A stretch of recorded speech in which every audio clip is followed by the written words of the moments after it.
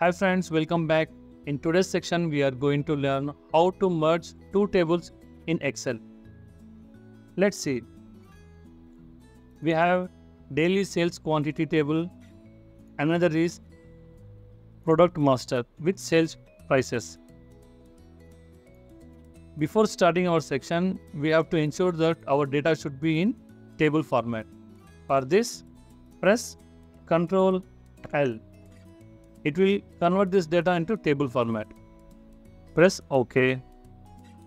Remove banded rows. Perfect. And here change the name as sales. Okay. Now go to the product master. Press Ctrl L. OK. Banded rows and table name is master. Press enter. Perfect. Now click on data from table.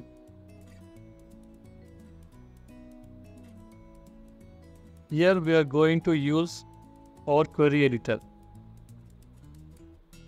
Now change our date format into date.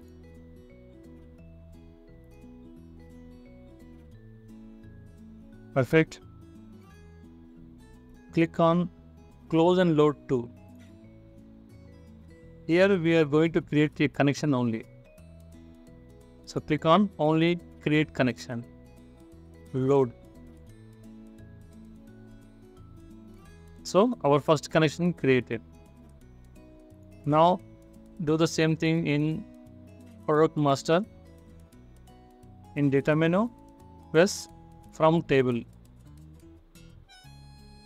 And then everything is perfect. So click close and load to.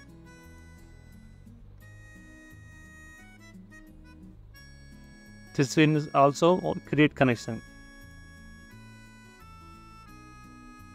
Perfect.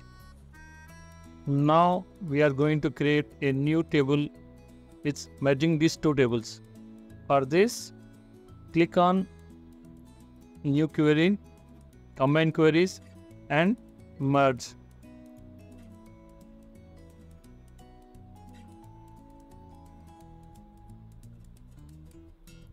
Click sales table and click master table. Here our unique columns are product name. Click on both tables perfect. So no errors. Click ok.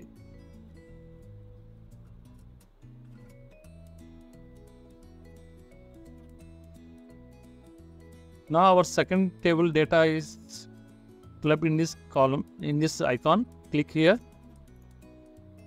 So product name is already there. So again no need to select that column. We will remove it and untick this column.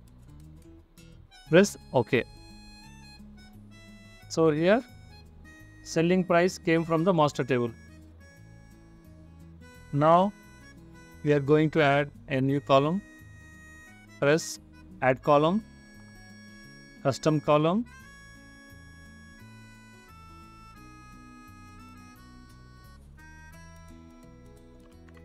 Sales value. Or you can also give a column name as total sale value. For particular product? Here we are going to multiply quantity with selling price. Perfect. No syntax errors. Press ok. So you can check the formula from here. Now in the new table we don't require these two columns. So we are going to remove these two columns click on remove columns. Perfect. Here change the name. Um, total sales. Press enter. Perfect. Now click on close and load to here you no need to select the connection. We are going to create table only.